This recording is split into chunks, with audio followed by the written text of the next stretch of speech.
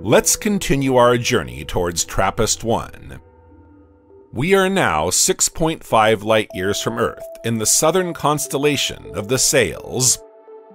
Here you are in front of Luhman 16, also called WISE 1049 5319, a binary system of two brown dwarfs, Luhman 16A and Luhman 16b, which orbit each other at a distance of 3 astronomical units in 25 years. They are the closest brown dwarfs to our solar system known to date.